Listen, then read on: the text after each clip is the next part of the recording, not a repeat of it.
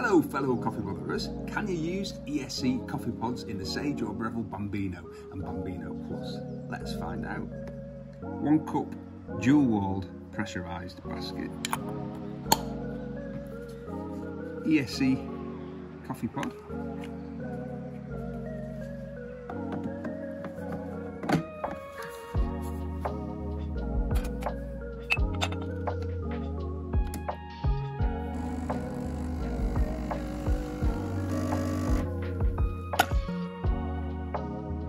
Yes, you can. Tatty bye.